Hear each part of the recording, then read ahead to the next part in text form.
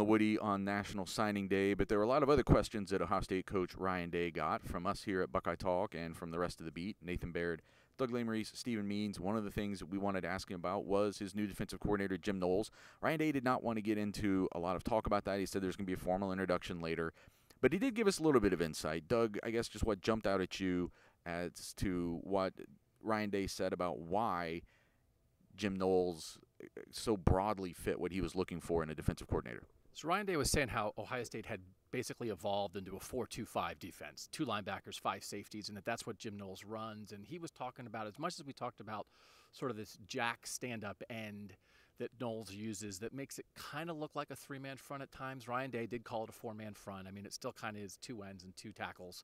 So, and that that structure will, will be familiar. And he he didn't say that they are going to recruit any differently to the defensive positions, to the defensive body types that they need in this defense. Obviously, Jim Knowles, when he gets here on January 2nd, will have more influence in that kind of thing, but it's not a sea change in Ryan Day. So there's, I think, a lot of familiarity with how they want to go about things.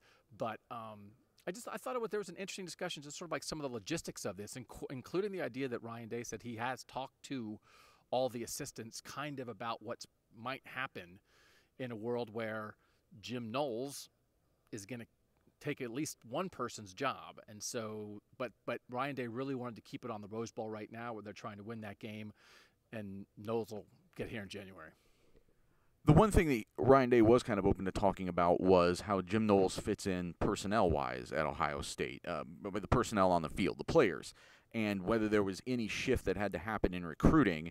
And Stephen, his answer there basically was no. Like there isn't really a big structural difference between what Jim Knowles will want to do and what Ohio State has the personnel to do. Yeah, I think I don't know if it changes the right word, but his biggest influence will just be on the numbers.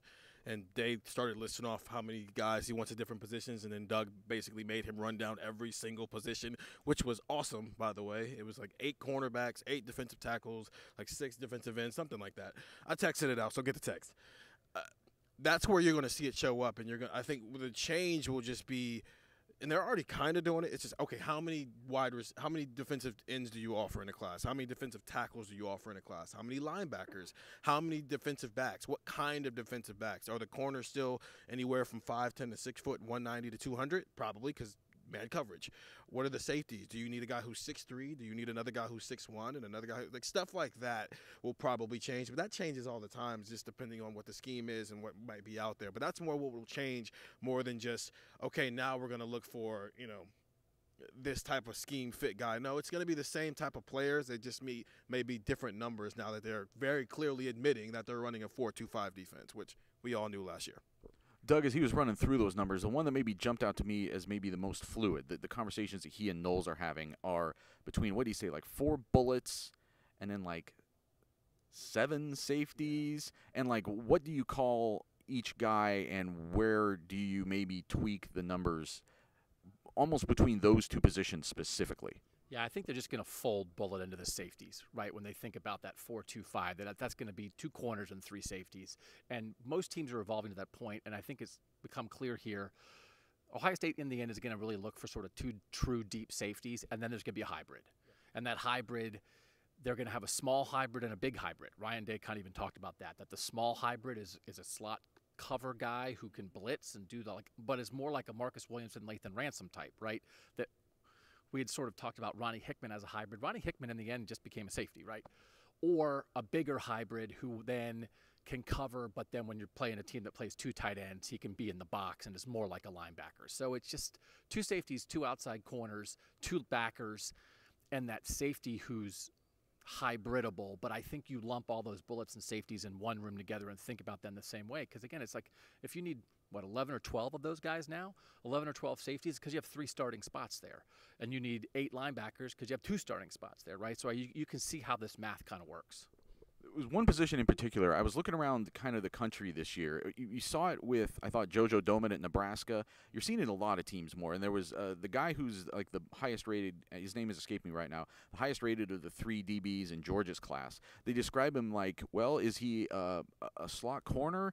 or like a or like a box safety, or is he an outside linebacker? And I'm trying to think like when was the last time Ohio State had somebody with like that width of potential responsibilities. And yeah, it could be Sonny Styles here coming in a few years, or it could be somebody that they already have on this. Um, on this roster that they look at as being that versatile, but uh, that's maybe one of the last leaps of thinking that um, Ohio State would need to get to in, in terms of sort of adapting to what we're saying. That like this has been going on in college football already, and they're just sort of um, joining up uh, here as we go. Can I, can I just say one, one more thing about the numbers, and we'll talk about this more in the podcast. I got like really excited about the numbers. It kind of, it's sort of though. In the end, you have 85 roster spots, and you have 22 starting spots. It's just kind of like you need four guys at every spot. So if you have two outside corners, you need eight corners. If you have two linebackers, you need eight linebackers. If you have five starting offensive linemen, you need, you know, not quite. You know what I mean? Like it's, it, it, uh, but yeah, but it's almost like well, we want almost like we want a senior, a junior, a sophomore, and a freshman like at every spot on the field. And if you do that, that's 88. So it's not quite that, but as much as I was excited to get the numbers breakdown, it's like, eh, it's kind of common sense too.